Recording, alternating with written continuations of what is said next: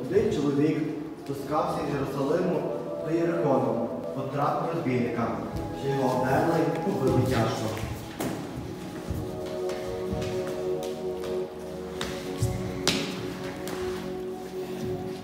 Та й пішли геть, зоставивши напівмертвого. Випадково йшов якийсь священник тією дорогою.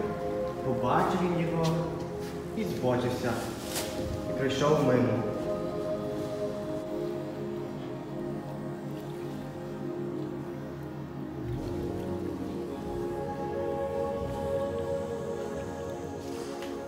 Так само і Левіт прийшов на те місце, глянув на нього та й прийшов мимо.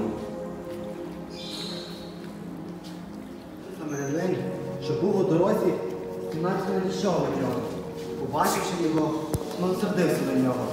Він приступив до нього, перев'язав йому рани, полив їх оливою і вином.